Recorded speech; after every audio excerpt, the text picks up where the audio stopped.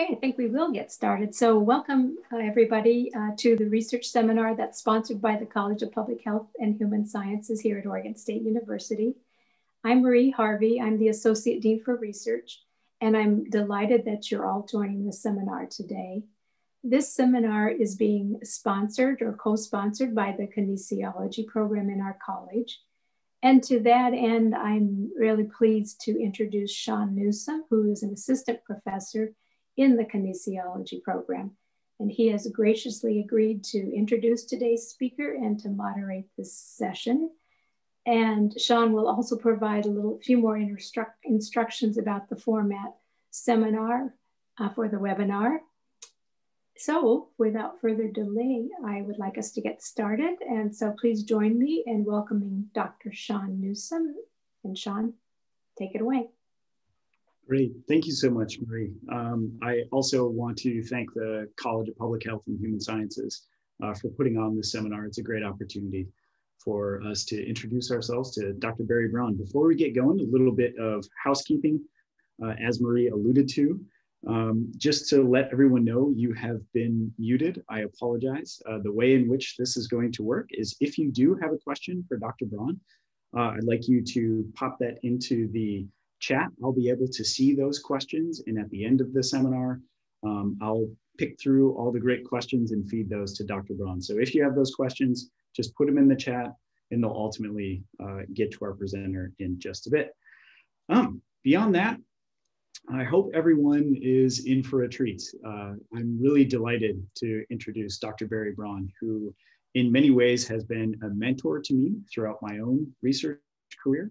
While I was a doctoral student, Barry was uh, a su successful director of a laboratory at the University of Massachusetts Amherst that did a lot of the same work that I did in skeletal muscle metabolism. He's really a leader in our field uh, so that we understand the impact of things like exercise on skeletal muscle metabolism and including the interaction of some drugs that we commonly use to treat uh, disordered skeletal muscle metabolism, things like metformin and even SGLT2 inhibitors. So uh, I'm not sure if he's going to tell you about some of that research today, but really a leader in the field uh, in that regard. A little bit about where, where Barry came from. Uh, I just learned moments ago that Barry is actually born and raised in the Bronx. He's originally from the East Coast. I know Barry uh, from his time on the West Coast. He completed his PhD uh, with Dr. George Brooks. So some of you in the field may be familiar with that name. Really an icon and a legend, someone who quite literally wrote the book on exercise physiology. Uh, so Barry has a rich educational background, even beginning at the University of Pennsylvania in ecology and evolutionary biology, which explains a lot about the way Barry thinks. He's a very creative individual. Um, in his professional career, he's been remarkably successful, uh, authoring well over 100 peer-reviewed publications. Uh, and I know firsthand that Barry is an outstanding instructor and teacher. Barry doesn't know this, but one of my current doctoral students actually had Barry as a faculty member uh, back at University of Massachusetts Amherst way back in the day, and she continues to rave about how fantastic Barry's course was and Barry's teaching. Uh, with that, it's not surprising that he was named a distinguished uh, teacher, or given the Distinguished Teaching Award at the University of Massachusetts Amherst. Um, along the way, he's now made it to uh, becoming a professor and now the department head at the uh, Health and Exercise Science Department at Colorado State University, where he's been for, what is it now, seven years, Barry? It's just about. So I'm excited for, for Barry to tell you about uh, uh, what he's been doing and talk about whether or not exercise is medicine and the importance of context. So with that, take it away, Dr. Braun. Uh, thank you. Um, well, I try to share my screen. Um, I will say thank you for that introduction and uh, great to see you. Uh, I am going to briefly mention some of uh, Sean's work when he was a doctoral student um, because it directly showed that something that we had uh, done in a few years earlier was actually wrong. Um, so thank you for that. Uh, I always appreciate that. Um, slides look okay? Okay, good. Um, so uh, I was going to, this title, which I've used before, um, is not necessarily meant to just tick off everybody um, who thinks that exercise is medicine. Um, it's really just a, a, question that I have myself um, in terms of if we're going to say that exercise is medicine, what does that mean? And do we really know what we're talking about? And if not, what do we need to know so that we do know what we're talking about? Um, so let me um, start with baseball because um, it is uh, baseball season. So I knew I knew this wasn't going to work as well as it did five minutes ago. Hang on. No. All right. There we go.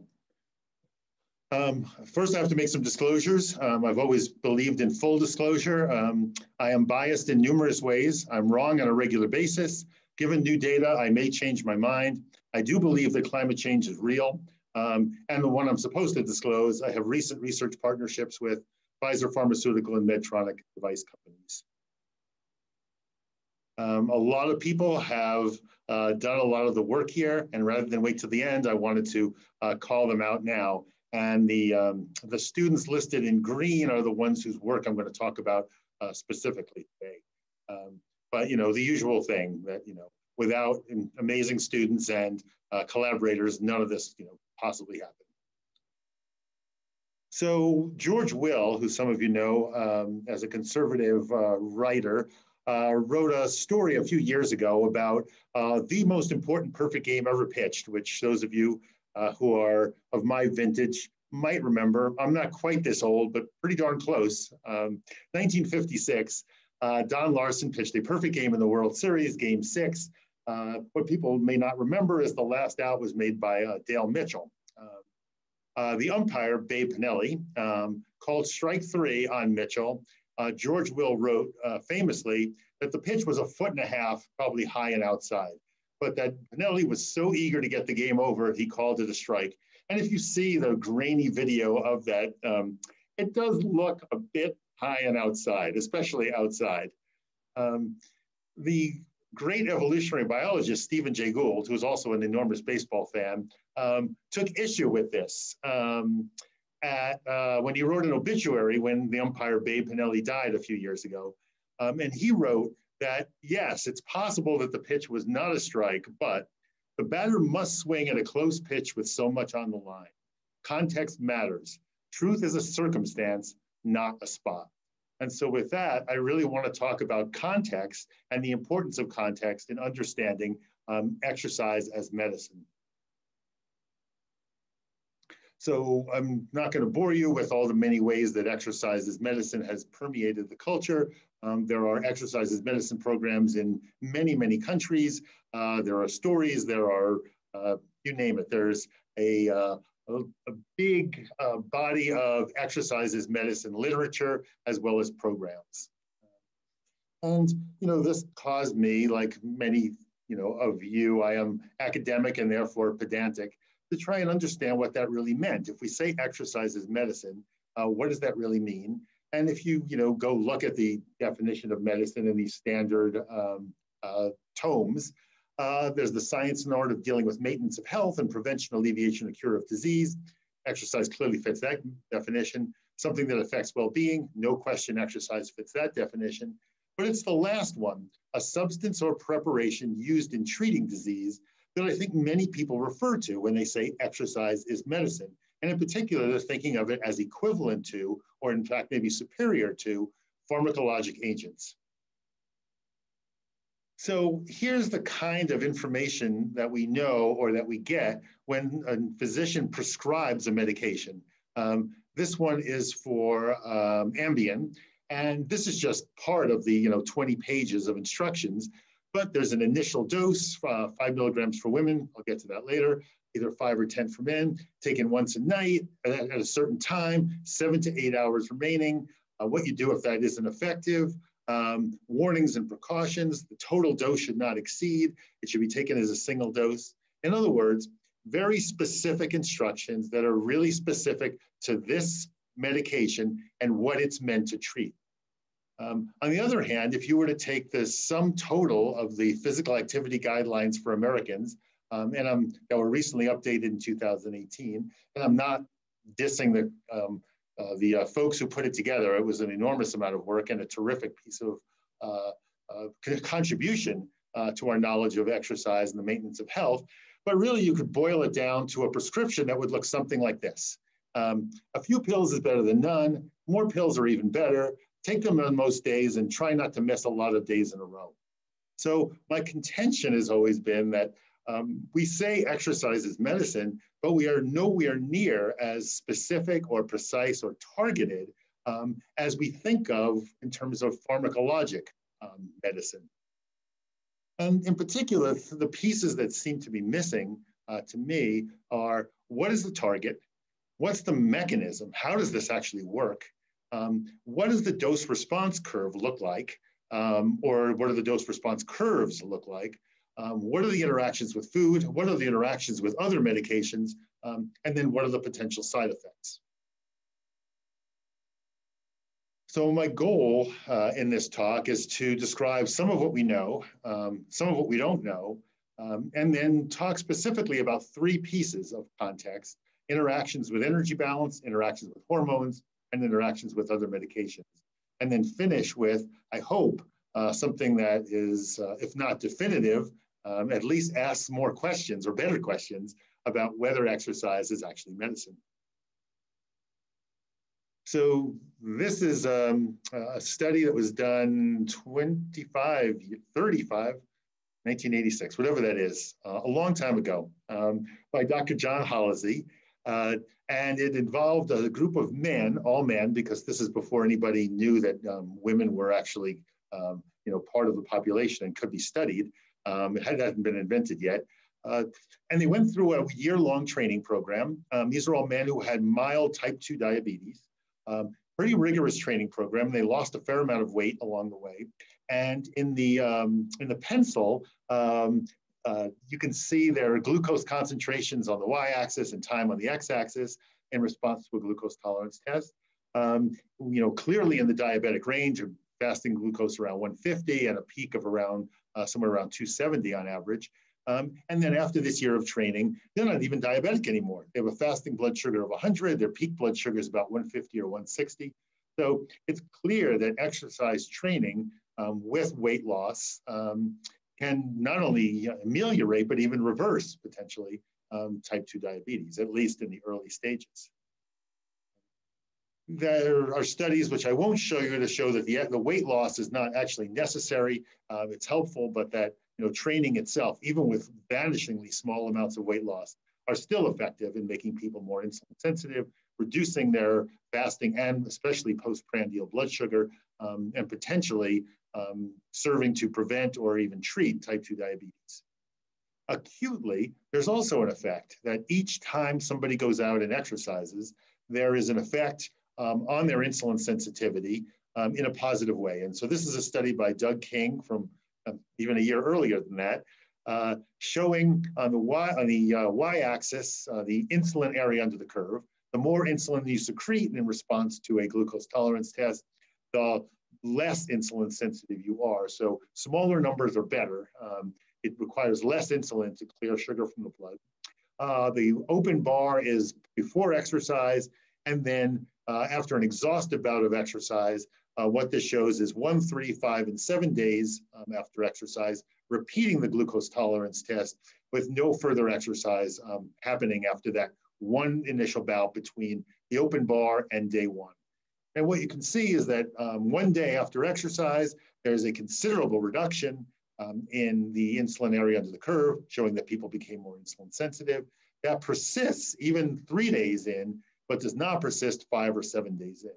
So we know a little bit about dose response, that you know a single exhaustive bout of exercise um, confers some beneficial effects on metabolic health for at, at, least three days, but certainly not five or seven days. And then uh, this study uh, by Corey Rynders um, a few years ago um, looked at whether the caloric expenditure was the key element of the exercise, or whether doing it at a low or high intensity really mattered. In this case, um, the caloric, um, or the energy expenditure was held constant. So at the moderate intensity, they did, a did it for a long time. At the high intensity, they did it for a shorter time. So that the total energy expenditure was matched. In this case, they're actually looking at um, glucose uptake um, in response to a given amount of insulin. So now higher numbers are better. Um, uh, so on the uh, y-axis is glucose uptake, uh, control condition, moderate intensity exercise, high intensity exercise, crossover design, same subjects. Um, and what you can see is exercise helps, um, and it did not matter whether it was at a moderate or high intensity. Um, I'm going to come back to this, uh, but that's generally uh, been shown to be true, although um, a lot of the sort of research on high intensity interval training in the last five to seven years um, would suggest that maybe this isn't as universally true um, as we thought in 2014. So I'm going to show this uh, particular slide a lot um, as sort of an organizing principle. Um, and up in the upper left uh, is the old um, food pyramid, uh, the one I liked because it actually showed how physical activity was an important part of nutrition recommendations uh, that has disappeared in the last three incarnations of the, um, it's now the plate, not the pyramid. Um, that weight loss um, by itself has a beneficial effect on metabolic health, that exercise training with or without weight loss um, does the same, and that even acute exercise bouts um, have a beneficial effect. So that each time you exercise, there's a tangible, measurable benefit, um, which does not um, for more than a few days, requiring reapplication of that exercise in the same way that you'd have to reapply um, a dose of pharmacological medication. And then on the right, you know, actual pharmacology, um, drugs that are used, um, anti-diabetic drugs or other um, drugs um, that are used to have a beneficial effect on metabolic health. So uh, the interactions with, um, with energy intake, to me, this is a uh, serving of Oreos.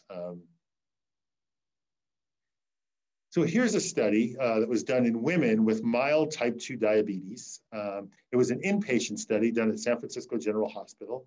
Um, and the uh, women came in in three different conditions, a no exercise condition, a high intensity exercise condition, and a low intensity exercise condition, uh, similar to the study I just showed you by Corey Rynders, um, but shorter, uh, or in this case, it was, they did three bouts of exercise over the course of a couple of days.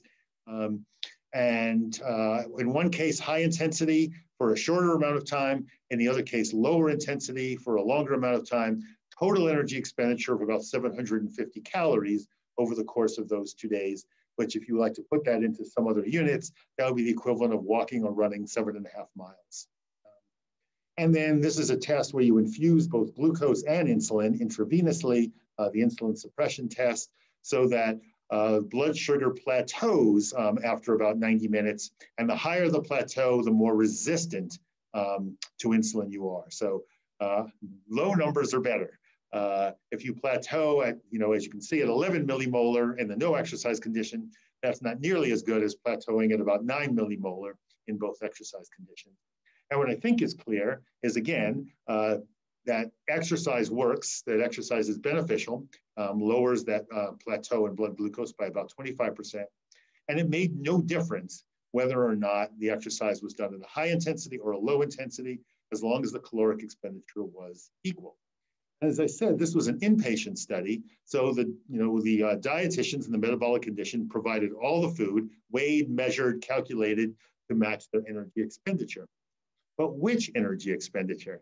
Um, as I said, they expended 750 more calories in the two exercise conditions than they did in the uh, no exercise condition. And the question for these um, investigators was, do you feed the calories back? In the exercise conditions, do you add 750 calories to their diet um, in order to account for that increased energy expenditure? And you could argue um, both ways, the advantages and disadvantages. But in this case, the investigators did not, partly because nobody else ever does that, and partly because reviewers, um, grant reviewers, hate the idea of feeding the calories back because they always say that the point is to create a caloric deficit. That's why you want to exercise.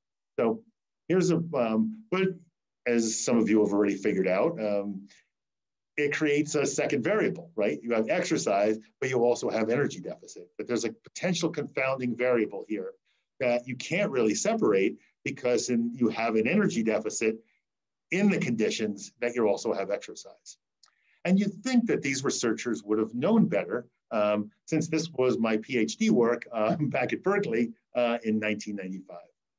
And all I can say in my defense is uh, I knew that there was a problem and I was uh, convinced that at some point I'd be able to address this. And that opportunity came along a few years later uh, when uh, Colonel Steve Black uh, came to do his PhD um, with me at the University of Massachusetts. And Steve was loved this question, this question of, is it the energy balance or is it the exercise? And so Steve found a group of uh, 16 men and women with um, insulin resistance. They did not have diabetes, they were sedentary, um, but not diabetic yet.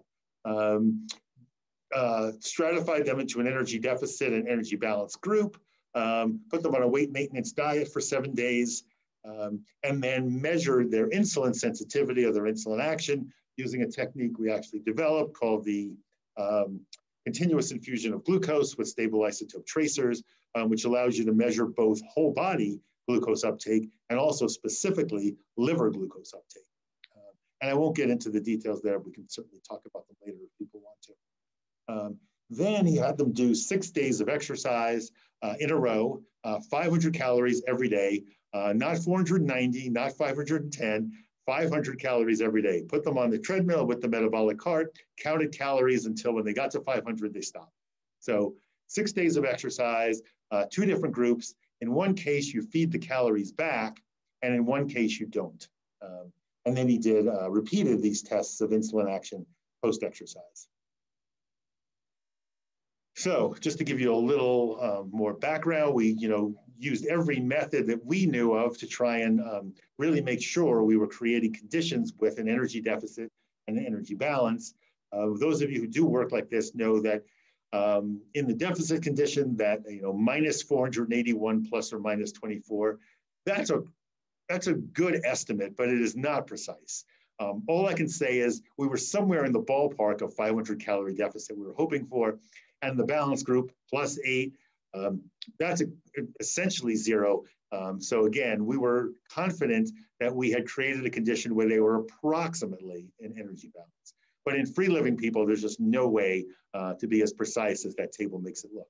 Um, and we fed those calories, and this becomes important, the entire diet and the extra 500 calories that the balance group got um, was composed of 55% carbohydrate, 20% protein, and 25% fat.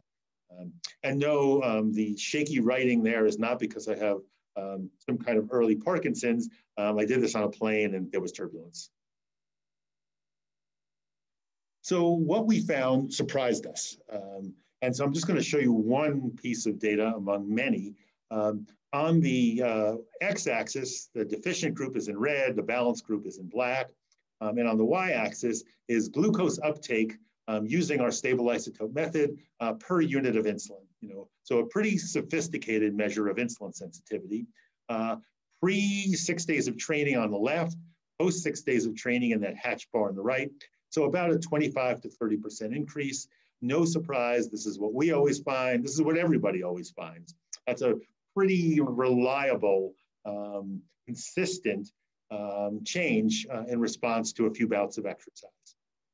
Surprised us is on the right, the balance group, um, that six days of exercise appear to have no effect at all um, on, these, uh, on these men and women if we fed the calories back that replacing the calories appeared to completely abolish that 25 to 30% uh, increase in energy, uh, sorry, in uh, insulin sensitivity. And we have other pieces of data that show this as well. We have hepatic glucose production and you know, probably eight different pieces of data uh, uh, or outcomes that all say about the same thing. But, you know, as reviewers we're happy to point out, again, there is a confounding variable here. Um, and that is um, sort of by definition, if you feed 500 more calories a day, you've got to feed them as something um, carbohydrate, protein, fat. You know, what do you do? Uh, and we decided that the most defensible, um, scientifically uh, or scientifically defensible way to do this was to keep the balance of calories the same 55% carbohydrate, 20% protein, 25% fat, um, and just give the 500 calories. Uh, then the question was when to give these 500 calories. And um, my thought was since we were trying to abolish an energy deficit, we should give them while the subjects were actually on the treadmill. Um, luckily, the grad students um, realized that was a stupid idea um, and convinced me that we should give it immediately post-exercise. Um, again, minimizing the time that the um, uh, participants spend in energy deficit. That was in some ways a somewhat fateful decision, but I think again, scientifically defensible in that we were trying to look at energy deficit versus no energy deficit, and that seemed the best way to abolish any uh, contribution of energy deficit. And what reviewers were, you know, pointed out is that, you know, because we had kept the balance of calories the same, that in one case, they're getting about 330 grams of carbohydrate per day, and in the balance group, they're getting about 410, which is a pretty big difference. And if you go back in the literature, all the way back to 1989, uh, Greg Cartee had done a study in rats um, in which he had exercised them to exhaustion and then looked at um, how long their insulin sensitivity lasted after that exercise and shown that um, if you fast them, um, it lasts uh, for a long time. If you feed them uh, with carbohydrate, you abolish or minimize that increase in insulin sensitivity. But if you keep feeding them but make it zero carbohydrate, um, that the insulin sensitivity persists. So the suggestion was, at least in rats, that it was the carbohydrate that was the culprit in terms of um, reversing the enhanced insulin sensitivity, not the calories. Um, and uh, then Dr. Newsom, um, in, his, uh, in his work uh, that was published in 2010, uh, showed this in humans as well. Um, that in a condition when subjects were in energy balance um, after exercise, uh, they had enhanced insulin sensitivity. If you fed them uh, a low energy diet, um, but continued to feed them carbohydrate, um, then you also saw this slightly increased um, insulin sensitivity. But you got the best result um, when they were uh, fed the calories back, but in a low carbohydrate way. As you can see, the only significant change there um, is with that energy balance, but low carbohydrate condition. I would point out that it's a vanishingly small difference that just happened to be significant, but still, um, I, I defer uh, to a, a, great piece of work uh, that was done by uh, Dr. Newsom. And then there was also the issue of the timing. You know, did it matter that we fed these calories back um, immediately after exercise? Um, and it probably did. And you know, we did some work to follow this up. Other people have done work to follow this up. Um, and we probably magnified the effect of the carbohydrate by giving it immediately after exercise, which is exactly what you want to do for athletes uh, to get them ready to uh, for their next bout of exercise. You know, restore glycogen as quickly as possible. You know, that's what you do. You give carbohydrate immediately post exercise. But it probably had the same effect or the uh, equivalent effect in these people of restoring their glycogen and then um, diminishing that you know enhancement of insulin sensitivity we'd seen with exercise.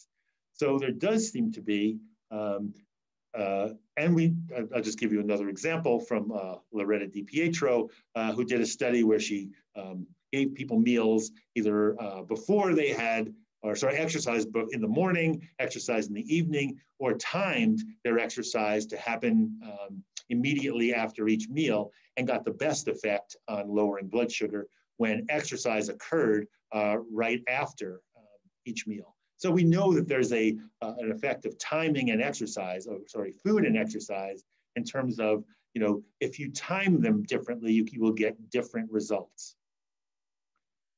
So just to make this uh, what was a simple graphic more complicated, um, in addition to the things I mentioned before, um, that the timing of um, energy intake after exercise, and in particular, the quantity of carbohydrate and the timing of that carbohydrate all modulate mediate.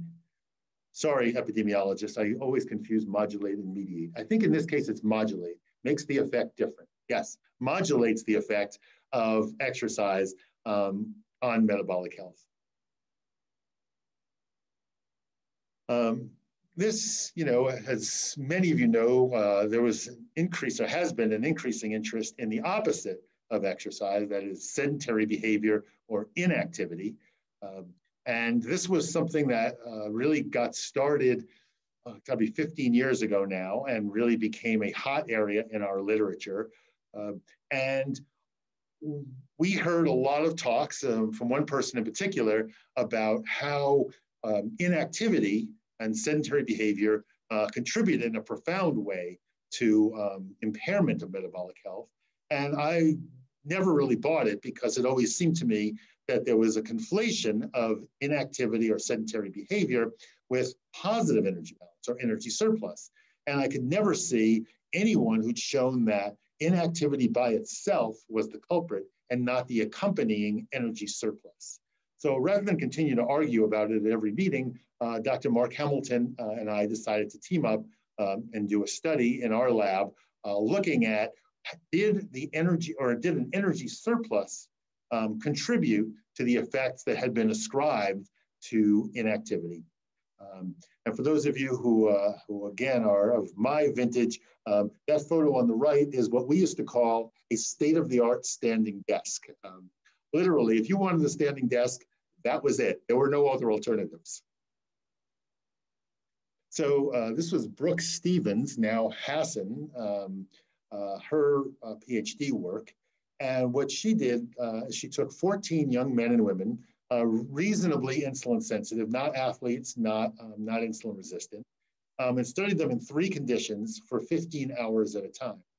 And in one condition, uh, we fed them, um, calculated based on their um, metabolic needs, about 3,100 calories a day. Uh, they expended about the same amount of energy, um, which kept them in approximate energy balance. And in that condition, there was no exercise per se, just a lot of activity, which I will describe to you. They stood, they walked around, they did stuff in the lab. They never exercised. They never did anything that was um, that really got their uh, heart rate elevated. But they were active, or I should say, not inactive, um, for the great majority of the day. In a second condition, they did nothing but sit for that entire 15 hours. Um, and I'll talk to you about that. Uh, they, again, we kept the energy intake the same. Uh, in this case, their energy expenditure was much lower because they were doing nothing but really sitting, um, so that they ended up in an energy surplus of about 900 plus calories a day. In a third condition, um, we again had them sitting all day about the same amount of low energy expenditure, but we cut back their energy intake to put them back in energy balance, just energy balance at a much lower level. So we have a condition when they're active in energy balance, inactive in energy surplus, and then inactive in energy balance with the idea that we can um, account for the energy surplus um, and really ascribe um, what portion of any effect we see is really the inactivity and what portion is due to an accompanying energy surplus. Uh, so uh, these figures uh, sort of show what they did. Uh, the purple is sleeping, we had to keep them in the lab. We turned um, part of the lab into what we called the penthouse, even though it was in the basement, because we couldn't let them go home and then either play basketball or or do something that was going to ruin um, our very carefully calibrated low energy or high energy conditions. So we actually kept them overnight in the lab, 14 people, three conditions. So uh, Brooke and uh, her sidekick, uh, Kirsten, got to sleep in the lab for 42 nights which I think they still hold against me, um, especially since I spent exactly zero. Um, and then the green shows how much time they were actually stepping and walking, um, which you can see is basically nothing in the inactive conditions. Standing, which comprised a lot of the uh, active condition, but none of the inactive in uh, either of the inactive conditions. And then sitting, um, which was only about 20% of their time in the active condition and 70% of their time in the inactive conditions. Um, we even, you know, took them in a wheelchair uh, to the bathroom in the inactive conditions to minimize the amount of movement. Uh, the great thing is that, you know, in order to keep the active people active, but without exercising, we had to come up with tasks for them to do. And one of them was uh, reorganizing all the books in the lab, cleaning out the refrigerator. Um, so not only was this a kind of a cool study, but the lab was never cleaner um, than it was during this uh, few months that we were doing the study. And, and what we found, again, using that same technique of uh, continuous infusion of glucose with stable isotope tracers, so um, uh, the uptake per unit insulin on the, on the y-axis, higher numbers are better, lower numbers are worse. Um, uh, show you in the active condition, um, they were you know, the units aren't going to mean a lot, you know, somewhere around 0.37 um, uh, micromoles per minute per kilogram per unit of insulin. Um, the interesting thing is that in the inactive condition where we kept their energy intake the same, uh, they were 39% lower in terms of insulin sensitivity in just one day. This is the next morning. Um, and about half of that um, was restored if we cut back the calories. So about half of the, um, and remember, this is a short-term study, uh, about half of the diminution in um, insulin sensitivity uh, seemed to be due to uh, the, the inactivity itself and about half to an accompanying energy surplus. So just like we saw with exercise, uh, there is a, a confounding effect um, of energy surplus similar to what we saw with an energy deficit. So just to, again, complicate this a little bit, um, now we've added inactivity um, and the interactions with um, diet uh, to this graphic. Sorry, I know this is dated, but it just still makes me laugh every time I see it. Um, so I did tell you I was going to come back to Ambien. Um, and in this case, uh, you, you, may or may not remember that in 2013, uh, the FDA actually changed uh, the recommended Ambien dosage. Um, instead of being 10 milligrams for men and for women, um, it was uh, reduced to five milligrams for women.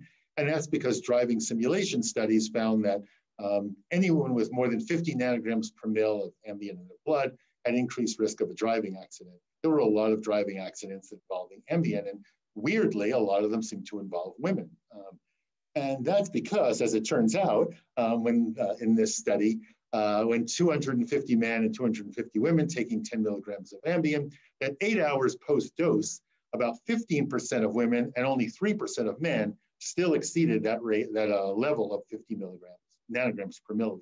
So women metabolize Ambien differently uh, than men do. Um, and it made a difference and it really probably contributed to a lot of these driving accidents that were happening uh, predominantly to women. So we had an interest um, for a long time in, you know, the way hormones um, regulated um, substrate utilization or fuel utilization during exercise. Uh, and this was a study that uh, Tara Dion did when she was in the lab. Uh, she had a big interest in this. Um, and you know, people had used the menstrual cycle as a way to try and understand how estrogen and progesterone um, modulated. I think I'm again using it right. Um, the um, the use of fat, carbohydrate, and blood or glycogen and, and blood glucose during exercise. Um, but the menstrual cycle is a you know pretty crummy model for uh, for uh, how estrogen and progesterone um, work because it is uh, unpredictable, irregular. Um, you know, that beautiful figure that's shown in every endocrinology book um, really describes exactly zero women in the real world. Uh, so working with um, a reproductive endocrinologist, um, we used a, a pharmacologic agent, uh, a gonadotrophin releasing hormone antagonist uh, called ganirelix, uh, to basically turn off estrogen and progesterone production temporarily um, in young, healthy women, and then add it back with transdermal estrogen or with oral progesterone. And then we measured um, blood glucose, glycogen, and fat utilization during exercise um, in these three conditions. On the left is the baseline, um, in the middle is estrogen only, and on the right is estrogen plus progesterone. And it really mattered, um, you know, that even though blood glucose shown in the white was about the same, um, in the estrogen condition, there was there's a lot more use of fat and a much uh, a much lower use of glycogen. Uh, and when you add back progesterone, you reverse that. You reverse that right back to baseline. So estrogen really drives um, substrate use in the direction of more fat use. Progesterone opposes that um, and does the opposite. And you might say, this is interesting. It's kind of a cool thing um, among a small group of people. What does this really have to do with with health or with real health outcomes. So uh, very recently, in fact, my last doctoral student, Rich Viskochil, uh, did this work, a training study in women who were breast cancer survivors, uh, 15 women, uh, three months training study, uh, four days a week, all of it supervised, all of it um, progressive um, uh, cardiovascular training um, in people who are not already trained all people who had had breast cancer and um, what were done with their acute treatment um, and uh, looked at blood glucose and insulin um, in response to a glucose tolerance test. Um, and on the, in the upper left panel shows the insulin secretion before and after exercise. Um, three, not just three months of training, uh, very little difference, um, which was really surprised us. Usually the insulin is significantly lower. Um, if you look at the insulin area under the curve, um, on the right top, no difference. Uh, peak insulin, no difference. Um, and the continuous, uh, sorry, um, composite insulin sensitivity index, a mathematical way to express both the glucose and insulin at the same time, no difference. But if you uh, look at um, the women uh, of these 15 women, um, eight of them were not, sorry, eight, six of them were taking an aromatase inhibitor, which is a common medication used in women who've had breast cancer that is estrogen sensitive, and it lowers estrogen concentrations almost to zero. Um, and women take this um, for years and years after, uh, after breast cancer. Um, and six of the women were taking um, an aromatase inhibitor. Eight of the women were not. I don't remember what, why the 15th person is not on there. And the story is completely different. Um, now I'm showing you basically the same data, but you can see that um, on the left, uh, in the black bars, the women not taking the aromatase inhibitor had great changes, everything we'd expect. Peak insulin is lower, the insulin area under the curve is lower, the composite insulin sensitivity index is higher, which is good um, the change in two-hour insulin um, is considerably um, changed. Whereas on the women, when the women who were taking the aromatase inhibitors, um, there were actually no beneficial changes. And in fact, it looked like they went the opposite direction. So the fact of taking an aromatase inhibitor or not vastly changed the interpretation um, of these data. And this is not um, a one-off. Um, there's actually uh, more and more data coming from cardiovascular studies, bone studies, um, metabolism studies, um, showing that you know, estrogen really has a permissive effect on the effects of exercise. And without estrogen on board, exercise does not work nearly as well. There's no reason for this except that I thought it was really cool. Um, a lot of the work we did involves type, uh, type 2 diabetes and prediabetes. And um, I know that there's a lot of um, uh, numbers that people throw around. So let me just try and put it in perspective because uh, it's hard to sometimes gauge what these numbers mean. That there are about 1.25 million people in the US with um, type 1 diabetes, which is about the same as the number of women named Linda. Um, there are about 29 or 30 million people with type 2 diabetes, which is about the same as the number of left-handed people in the US, and somewhere around 79 or 80 million people with prediabetes. And if you take the Lindas and add them to the left-handed people and add that to everyone who's Jewish and everyone who owns a dog, that's the amount of number of people who have prediabetes. So hopefully now it's completely clear to you what these numbers mean. Um, and this is, you know, a very classic uh, piece of data from the Diabetes Prevention Program published in 2002. Um, big multi-center trial, uh, 3,000 participants across 12 different clinical sites. Um, looking at people who started off at high risk for diabetes and following them for four years. Um, in, uh, in one case, in a placebo condition, one case when they got the anti-diabetes drug metformin, um, and one case where they were given a lifestyle um, prescription that involved a low-fat, low-calorie diet and 150 minutes of exercise a week. And the data are shown on the left as cumulative incidence of diabetes. So the numbers keep increasing, they just keep adding cases um, as people make that transition from prediabetes to diabetes. Um, and it was almost 40% in the placebo group. So that is uh, shows that this really was a high risk group. Decreased by about 30% with metformin, and then, you know, yay us, decreased by almost 60% in the lifestyle. And, you know, we looked at these data um, and you know, I think had a you know what I would call a leap of insight, but I think any eight-year-old probably had this same leap of insight and thought, "Hey, metformin's really good, and lifestyle's really good, and we know that metformin works primarily in the liver on fasting blood sugar, and we know that lifestyle primarily works in the muscle um, on postprandial glucose. What if we put them together? You know, would one plus one equal two?" And you know, not knowing any pharmacologists at the time, um, we thought this was reasonable. Now that I've met, you know, more pharmacologists, they of course scoff and say that, you know, in the world of pharmacology, one plus one can equal anything. um, but the least thing, but the least likely outcome is that it equals two.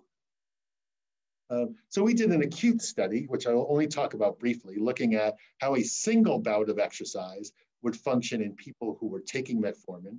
And so we had uh, two groups, um, a group taking metformin and a group taking placebo.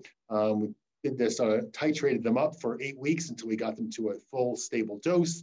Um, and then we studied the metformin people in three conditions before they taken the metformin, after eight weeks on the metformin and in a resting condition, and then after eight weeks on the metformin in an exercise condition. Of course, you know, counterbalance those last two. And then the placebo group, um, in, a, the post-placebo in both a resting and a post-exercise condition. Uh, we took muscle biopsies. Uh, in this case, we did a hyperinsulinic euglycemic clamp, um, and also, you know, worked with uh, Laurie Goodyear in her lab to do uh, analyses of a lot of intracellular mediators of insulin sensitivity and glucose. And uh, what we found, um, and this is uh, out data from the glucose clamp, similar to the other techniques I've shown you, it's glucose uptake per unit insulin, so higher numbers are better.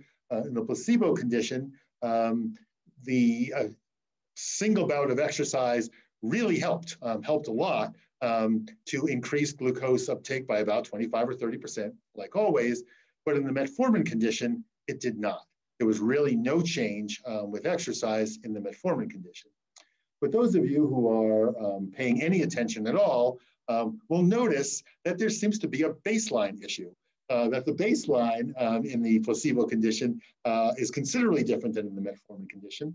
Uh, yes, um, and all I can tell you is that we matched them on every conceivable thing you could think of, and yet they were still um, was this difference in uh, in their baselines, which to this day I still cannot explain. But fortunately, um, we had other pieces of data to kind of back that up. Um, this is um, uh, AMPK alpha 2, a major regulator of glucose uptake, showing that big increase in the placebo condition. That increase was blunted considerably in the metformin condition. Um, luckily, we have you know 10 other uh, outcomes that all reflect um, this idea that insulin sensitivity was greatly increased with exercise, was not really increased with exercise and metformin. Hepatic insulin sensitivity, same thing. AMPK activation, same thing. Glycogen use um, actually was the same in both conditions. So that, that was not the reason uh, that metformin is blunting um, the effect of exercise. But clearly there was a blunting effect of, of um, metformin um, on exercise, on the benefits uh, expected from exercise. Secondarily, um, Steve Malin decided to do this, but do it as a training study, an eight-week training study, 32 men and women with impaired glucose tolerance. Um, so four conditions, a, or four groups actually, a placebo control, metformin only, and then training with or without metformin. Again, eight weeks, no, sorry, 12 weeks of training, um, four times a week, all of it supervised. Uh, and then again, measured insulin sensitivity with glucose uh, clamp and these isotopic tracers. Um, and found um, something very similar to what we found with the acute exercise. So again, same um, uh, outcome or same uh, units on the y-axis, placebo, metformin. Uh, metformin was effective to increase uh, glucose uptake, as you'd expect. Exercise and placebo even better, and exercise and metformin not even as good as metformin alone. So again, we found that metformin blunted the effect of exercise on, um, on these outcomes. I'm going to skip that, um, and I'm going to skip that. So what we found, or what, you know, as we keep making this web more complicated, is that not only are there interactions between exercise, exercise training, um, hormones, and food intake and timing of food intake, but there's also a big interaction with common, common pharmacologic medications. And people, other people have verified this. This is one where our finding that metformin blunts the effect of exercise has now been recapitulated a lot of times. Um, it's really heartening to see that. It seems like we got that one right. So what are the take home messages here in terms of context? Um, one is I think that without accounting for the nutritional, the hormonal, um, and the uh, pharmacologic context, um, that, and you could argue sleep and circadian biology and a whole lot of other things, that's the reason we get so many uh, outcomes that look like this. Uh, those of you who are exercise science, uh, kinesiology folks have seen graphs that look like this a lot. This is what always happens. We take a number of people, we put them on exactly the same intervention, and some of them get a lot better, and some of them don't get a lot better, and some of them actually get worse. And we say, oh, you know, human variability, what are you going to do? But a lot of it, or some of it at least, can probably be explained by not correctly and rigorously accounting for um, second, you know, accounting for the context is critical to designing strong studies, but you know, the downside is it does dilute generalizability. The more we control confounding variables, the more precise the answers, but actually the less uh, sort of ecological in terms of being able to generalize uh, to a free living situation. And we tried to, uh, to, do this in a way that I think was not really satisfying to anyone. Um, Jen Blankenship's PhD, we tried to do a combination of a laboratory and free living study that we called an ecolabical approach, um, where we had free living people measured all the outcomes with continuous glucose monitors, but fed them their meals at precise times and in precise amounts to try and account for that uh, major confounding variable. It certainly helped. Uh, we got less variability, but again, you know, by giving people precise uh, meals at precise times, we are reducing the overall generalizability. Um, and then finally, you know, getting back to that idea of exercise as medicine, um, you know, at the moment, um, we have the idea of exercise as medicine with many, many, many, many, many targets. Um, many of these diseases or conditions do not share etiology or pathophysiology at all, and yet our recommendations are pretty much the same for each of those conditions. Um, and then we haven't even accounted for all these other things, which clearly are going to um, matter as well. So I think, you know, in my mind, you know, one of the ways to start thinking about this, or at least attacking this uh, in a logical way, is to start thinking about exercise as medicine in three ways. In what cases are we thinking of it primarily as prevention? In what cases are we thinking of it primarily as therapy? And in what cases are we thinking of it primarily as medication? Because for prevention, you don't really need a precise dose response. A rough dose response um, is really what we need. Um, and then compliance, compliance, compliance, compliance. Whereas if you're trying to use exercise as a medication, um, especially for something like diabetes, where you could potentially make somebody hypoglycemic with too much exercise and insulin, um, the dose response really matters and the side effects really matter. So um, I'll just leave it there that I think that, you know, the next step, I, I hope, in terms of using exercise as medicine, is to start to become, um, and I'm not obviously not the only one to think this, a lot more sophisticated about how we apply it. And I'll stop there um, with, you know, my, my favorite example um, of context. Thank you.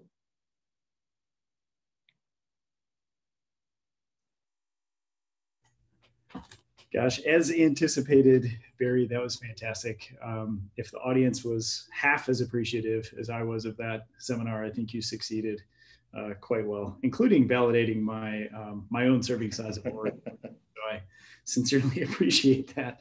I realized at the beginning of this, when I was giving instructions, I misspoke um, saying chat function. I really meant the Q and A function. So if you have questions for Dr. Braun, I really encourage you to pop those in right now. Um, one of the things I did want to ask you, though, uh, Barry, is this the idea that uh, I find myself being guilty of labeling individuals or even populations as saying, oh, they're insulin sensitive versus insulin resistant. And it's clearly relative to the time at which we make that measurement, right? For example, should that individual had walked up several flights of stairs, they might look a little different than if they had watched, you know, been binge watched Game of Thrones to, to fall back to your, your presentation. And the same kind of comment goes for energy balance. It's all relative, right? In the context of when do we start the clock? When someone is actively exercising, are they are they currently in negative energy balance? Is the only time we're in positive energy balance the moment that we're eating? So I'm just curious how you feel about those topics and what your comment might be, particularly in the first one when we tend to say a population or an individual is X yeah, no, uh, they're great points, and I, you know, wholeheartedly agree that, um, you know, that insulin resistance and insulin sensitivity are a continuum, um, and you know, we, we, refer to people as insulin resistant or insulin sensitive rather than um, along this very, very wide continuum. And as you said, you know, you can game the system. If I, you know, was going to take a glucose tolerance test and I wanted to make sure that I was not going to be labeled diabetic, yeah, I wouldn't eat in the morning and I would go out and do a 10 mile run before I got there. Um, so you can absolutely, you know, change your insulin sensitivity throughout the day. We know it's different in the morning than it is in the afternoon. We know it's different after certain kinds of meals. So um, we know there's a circadian biology piece to this. So yeah, and, and energy balance is the same thing. You're not, there is no, we, we do 24 hour energy balance because we're creatures of 24 hours, but I don't think the cells are really measuring energy balance on a 24 hour clock. Sure, absolutely. And I guess when you when you think about it, the you know thinking that we have a diverse audience in the room, which is great. You know, not everyone in here works in my lab or uh, is is in kinesiology even. Mm-hmm. Is so what is what is the the the translational take home message for individuals that are seeking advice regarding the beneficial effects of of exercise. How do you how do you put that into context for those folks who are looking for even a reason to be physically active? You know it, it, it's a great question and you know and i hate to go back to you know what the sort of dogma but you know it is true that you know the biggest benefits are accrued in going from almost no exercise to some exercise that there is a dose response so that those benefits regardless of whether you have breast cancer or whether you're trying to prevent diabetes or whether you're trying to um, reduce your anxiety um, there's clearly a dose response, but there's also, you know, diminishing returns. Once you get above a few hours of exercise a week, you're not really getting, you know, doubling the, the benefit anymore. So a little is good and a lot is, you know, somewhat better, but, you know, an enormous amount, probably not that much better or maybe even worse. It sounds so uh, stereotypical, but it's also true. Um, and then, you know, people say, well, you know, what's the best kind of exercise? Well, it's the kind that you enjoy doing and that you'll actually do regularly again, it's a cliche, but also true. Um, yeah. And a lot of the sophisticated, um, how do you tune the exercise strategy to the precise problem?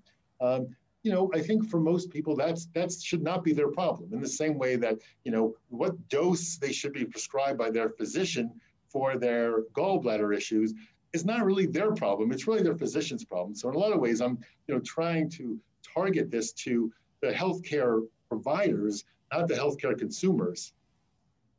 Yeah, and so uh, we've we've got a we've got a great question that falls in line with some of your ability to parse out the the components of what contributes to a, beneficial metabolic effect. Uh, the first question comes from uh, Dr. Maret Traber asking, or at least first pointing out that caloric restriction has been used in animal studies uh, to prolong life, and she says she's always wondered uh, caloric restriction versus increased exercise, i.e., increased caloric requirement. Does exercise increase lifespan? Um, hi, Dr. Traber. um, it's a, and the answer is probably no. I mean, it really seems from you know studies in mice, rats, primates, and people that exercise, unlike caloric restriction, does not really increase lifespan. It does increase health span, the number of years you spend, you know, healthy and free of disease, but I've never seen anything um, that clearly shows um, that exercise increases lifespan. Um, you could argue it makes your life better, but not longer. Um, and I, I, I, I, don't know if you want to comment on that as well. So you've probably seen this literature as well. You're, you're our, our honored guest, and I, I recognize the time, so I'm going to squeak in. You got one more question, as well as one fantastic compliment. Um, so the question is, given the many potential interacting factors governing the effects of exercise, how do you propose we prioritize the study of these factors? That is a great question. And that's where, you know, in terms of an organizing principle, you know, I think of those three buckets of, you know, are we trying to think of exercise in this context as prevention? Are we trying to think of it as therapy? Or are we trying to think of it as medicine? Because I think that the prioritization tracks those those buckets you know? And again as i said in one case i think really knowing the dose response i mean if you have somebody with type 1 diabetes um, and they take their insulin and then they exercise they can die. So you know the dose response becomes really important in terms of how much do you titrate their insulin dosage to the fact that they're exercising. But if you're trying to have somebody who's trying to, you know, prevent or at least minimize their risk for cardiovascular disease or diabetes, I don't know if the dose response really matters as much as the least effective dose. And how do you, you know, maximize compliance? Yeah. Oh, I love that perspective. Well, with that, um, given the time it is, it is 201. I do want to welcome if there's any folks that uh, have any additional questions, you're more than welcome to stick around. Dr. Braun has agreed to stay around in particular for any graduate students who would like to interact uh, with Dr. Braun. We've got a process for doing that. Um, so if you would like to stick around, you're more than welcome to do so. Please just hang out and we'll we'll change some of our, our functions here in just a moment. Uh, but beyond that, I want to say, while we still have most folks here, thank you so much, Dr. Barry Braun, for uh, presenting today. I want to thank uh, Dr. Marie Harvey for allowing me to do the introduction in the College of Public Health and Human Sciences for really sponsoring the entire event.